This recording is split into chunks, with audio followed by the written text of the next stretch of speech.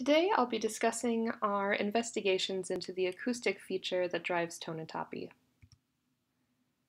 It's well established that tonotopy exists throughout the human auditory system, beginning in the cochlea where sounds are organized spatially in a high to low mapping of frequency content as you go from the base to the apex. And this spatial organization of frequency repeats throughout the auditory pathway. But what is also true is that processing further up in the hierarchy involves the extraction of more complex sound features like speech and music. In auditory cortex, tonotopy has a well-established V-shaped high to low to high gradient reversal mapping. So while it's clear that this tonotopy exists in cortex, what is less clear is whether this tonotopy is purely a reflection of frequency or whether the organizing principle gets converted into something higher level like pitch. The reason for this uncertainty is that there's an ambiguity that exists with the stimuli used to reveal these maps. Sounds that are traditionally used, pure tones for example, and even many natural sounds, co-vary in their fundamental frequency and their spectral content. In other words, both the pitch and the timbre of these sounds increase and decrease together. As such, it's unclear which acoustic feature is actually driving these maps. So the goal of this study was to disentangle these attributes. Here's a schematic of our stimulus manipulations with frequency content plotted on a log axis. So we're using harmonic complex tones. The red lines are the harmonics. Increasing or decreasing the spacing between these harmonics increases or decreases the fundamental frequency, which increases or decreases the pitch of the sound and the amount of energy we give to the harmonics, the overall spectral content, is controlled by how we filter the sound, shown in blue. If we shift this envelope to the right, it shifts the peak of the envelope, which we'll refer to as the spectral centroid. This gives more energy to higher frequencies, resulting in a higher or brighter timbre percept. If we shift the envelope to the left, we're giving more energy to the lower frequencies, which results in a lower or duller timbre percept. And the key aspect here is that these attributes can be manipulated independently of one another. We used both pure tones and complex tones for our stimuli. Using pure tones served as our baseline of what tonotopy traditionally looks like. The complex tones consisted of timbre tones, which were varying in spectral centroid while the fundamental frequency was being held constant, and pitch tones, in which the fundamental frequency was varying and the spectral centroid was held constant. In all cases, there's a half octave spacing between the tones. We wanted to make the stimuli as salient as possible in a noisy scanner environment. In order to do this, we added a Morse code or techno-like rhythm to the stimulus sequence. We have tones of two different durations, 50 milliseconds, and 200 milliseconds, and we pseudo-randomized their presentation to get this sort of techno beat that lasted roughly 8 seconds. Within this time, the same tone was presented, meaning the same pitch and timbre, just in varying durations. And then a new tone was presented for 8 seconds, and so on. Subjects were given a one-back task, in which they were instructed to indicate, via a button box, if the current, current sequence step they were hearing was lower or higher than the previous step. So depending on what condition they were in, this would be a lower or higher pitch, a lower or higher timbre, or in the case of pure tones, it's both, so just a lower or higher frequency. And here's an example of what this sounds like. Here are pure tones.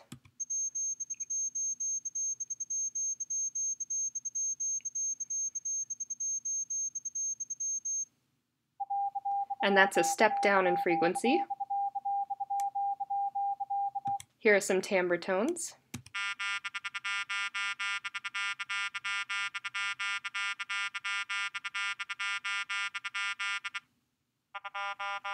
And that went to a lower or duller timbre.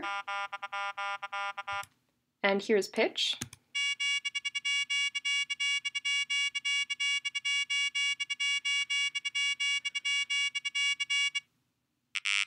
And that was a big drop in pitch. We had 10 right-handed normal hearing subjects, and data were acquired at the 7T at a resolution of about 1 millimeter. And this was a continuous acquisition sequence. The slices were angled along the Sylvian fissure to get coverage of the auditory cortices, as you can see in this image. Each run was about 6 minutes long and there were 12 runs. We acquired several field maps for distortion correction, and we also collected 6 T1s and 3 T2s for segmentation and cortical reconstruction and myelin mapping, which helped inform our re regions of interest. This is a correlation matrix for a single subject that shows correlations between response patterns elicited by different stimuli in our experiment. Each little square is the correlation for the responses across a bunch of voxels, and there's a correlation value for each tone in each condition. The higher the correlation, the more similar the representation. The black lines separate the pure tones, pitch, and timbre conditions. You'll notice that in the pure tones, there's a diagonal pattern emerging, indicating that nearby frequencies have more similar response patterns. And with timbre tones, a similar diagonal pattern is emerging. And this diagonal pattern also appears when looking at the correlations between timbre and pure tone conditions. So low pure tones and low timbres are more strongly correlated with one another, and high pure tones and high timbres are also more strongly correlated with one another. The pitch tones, on the other hand, are all highly correlated with one another. And the correlation between pure tones and pitch is more of a step function, where pitch is only strongly correlated with high pure tones. This is likely due to the fact that all pitch conditions have a high spectral centroid. The stronger similarity between pure tone and timbre activity patterns suggests tonotopy is more likely a map of spectral content than fundamental frequency. And here's a group level matrix that looks very similar. We wanted to use encoding models to explore the topographic representations of pure tones, fundamental frequency, and spectral centroid. We started with a three-parameter feature tuning model, which has the gain or height of the Gaussian, the center frequency, and the standard deviation or the fatness of the Gaussian. F is what we're feeding into the model, either fundamental frequency, spectral centroid, or the pure tone frequency value. So it's kind of three models in one since we have to fit each condition separately. We'll start by looking at a single voxel for a single subject and compare the model fit to the data. On the y-axis we have the response, and on the x-axis we have the tones, ordered from low to high for each condition. The colorful lines are the data, and the black line in each plot is the fit. As you can see, the model is doing a pretty good job of fitting the data. What you might also notice is that the tuning looks stronger for the pure tones and the timbre than for pitch, at least for this voxel. Now let's look at a whole bunch of voxels. On the left panel is the data for 1000 voxels, and on the right panel is the model fit.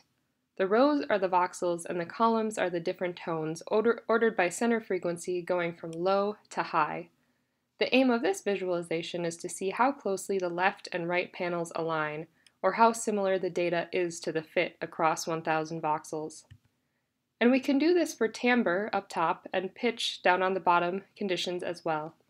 The takeaway here is that the model seems to be doing a pretty good job given how similar the data and the fit are. Now let's look at the center frequency parameter for the pure tones on an inflated brain within our region of, region of interest.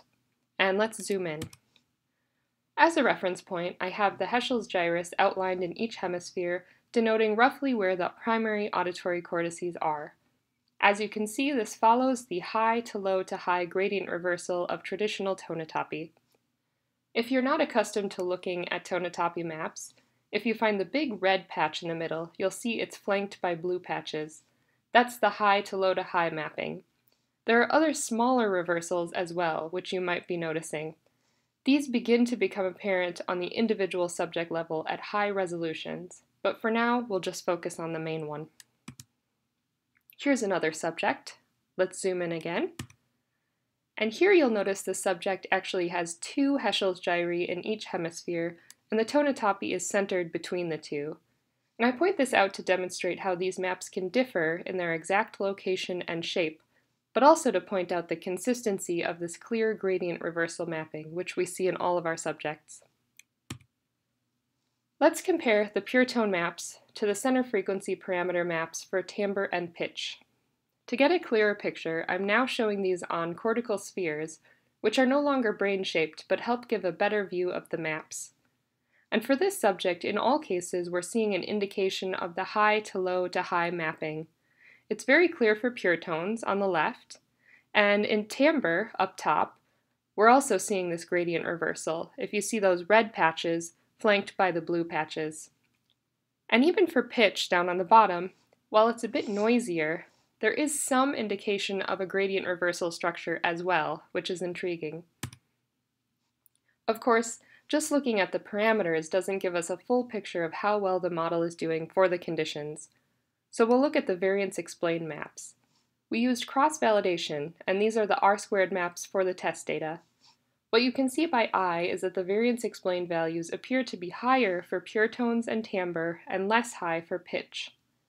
And the patchiness of the pitch R-squared maps is probably why we're seeing more noise in the center frequency maps for pitch. Next, to, to drive the point home that tonotopy seems to be driven by the spectral content, we made a modification to the model to create what we'll refer to as the spectral model. Instead of feeding in a single value for each condition, so a single frequency, the fundamental frequency, or the spectral centroid, we're now feeding in the entire spectrum. Since pitch and timbre conditions are complex tones, this seems appropriate. And for the pure tone condition, this model is effectively the same as the last one. But the nice thing about working with uh, the sound spectrum is that we can actually put all conditions into the model together. It's more of a sound computable model. I should point out that because the spectral envelope stays constant for the pitch condition, we did not anticipate this would be a good model for capturing response changes due to pitch variation. And here's what the center frequency model fit parameter looks like pooled across all conditions, shown on a sphere. And it looks quite similar to the pure tone center frequency maps we've been looking at. But we can also look at the maps of the center frequency parameter split into each condition separately to see how it compares to our earlier model. As expected, the pure tone map looks the same, and timbre is similar, as you can see the red patches still flanked by these greenish-bluish patches but the hint of structure we were seeing in the pitch map down below has disappeared completely now. And here are the R-squared maps of the test data when the model is trained and tested on each condition separately. As you can see, pure tones and timbre are still looking pretty good, and the hotspots are in similar locations to one another. But the model is explaining basically no variance for the pitch condition. And as I mentioned, this isn't really surprising given that we are no longer using the fundamental frequency as an input into the model. So this suggests using the spectral content as input into the model works well for pure tones and timbre, but is not a good model for pitch variations. This again reinforces the idea that spectral content or frequency is indeed the attribute underlying traditional tonotopy. If we look at a single voxel, we can see that the model is doing pretty well fitting the pure tones and timbre, but essentially shows a flat line for pitch. Even if there is some sort of tuning for pitch, this model is not picking up on it. And here's the data and the fit across many voxels. On the left panel is the data, and the right panel is the fit. What we can see is that for pure tones and timbre, there's a low to high center frequency order that's being picked up on, and an indication of tuning. But for pitch, we don't really see evidence of this tuning. Voxels that are tuned to low frequencies are not responding to pitch at all, and voxels that are tuned to high frequencies are predicted to respond to all pitch stimuli roughly equally. Again, we're seeing a sort of step function, similar to what we were seeing in the representational similarity, similarity matrices earlier. So to sum this up, it seems that the frequency or spectral content is indeed the acoustic attribute driving traditional tonotopy maps. And the spectral model was a good model for both the pure tones and timbre, but was not sufficient for modeling response changes due to pitch variations. Lastly, the feature tuning model, which was the first encoding model we explored, describes the pure tones and timbre tones pretty well, and even provides some evidence that a pitch map albeit a somewhat noisy one, may exist in a similar location as traditional tonotopy, so more exploration is definitely needed there. And with that, I thank you for your time.